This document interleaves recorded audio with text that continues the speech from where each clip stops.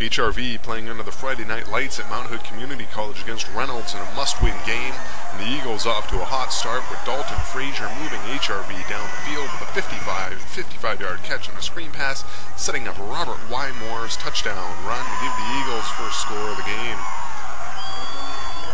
Reynolds would answer with a field goal, but then it's Joe Garrick here hauling in a 27-yard pass from Sam Kopecki to extend the HRV lead diving catch.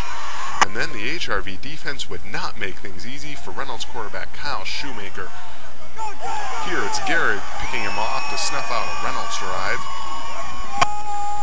And then it's going to be Jacob Bowens forcing a fumble on the blitz, and Jesse Scholl would pick it up and take it to the house for six more points.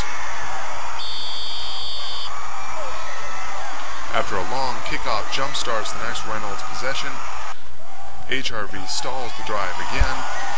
Lucas Mondragon with the interception to stop that drive.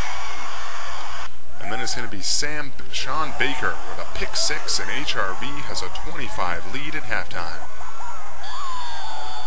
That's when things start to get weird.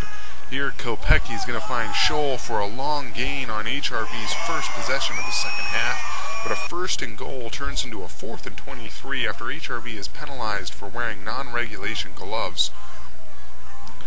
Then it's going to be Kopecki's long pass trying to get Scholl in the end zone again, but it's going to be tipped away by a Reynolds defender.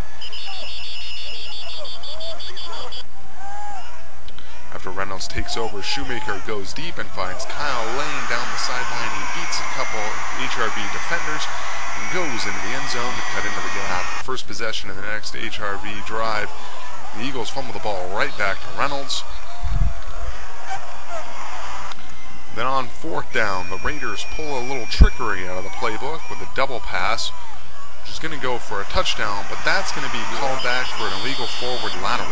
No matter for the Raiders as HRV fumbles the ball right back to them, and Reynolds is back in business. Shoemaker going for the end zone here, and it's going to be a controversial non-call on offensive pass interference in the end zone. And then on the other side of the field, the Eagles are going to get called for pass interference. That'll move Reynolds closer to the goal line.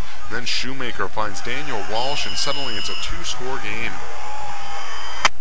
The next Eagle possession, Kopecki trying to finish the deal, going deep, but he's going to be intercepted. And the Raiders are right back in business again. However, a penalty on the run back backs them up all the way inside their five-yard line. Not a problem for Shoemaker.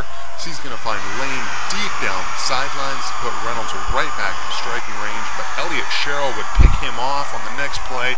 Robert Wymore would cash in for a touchdown, allowing the Eagles to take a knee and hold on for a 32-15 win.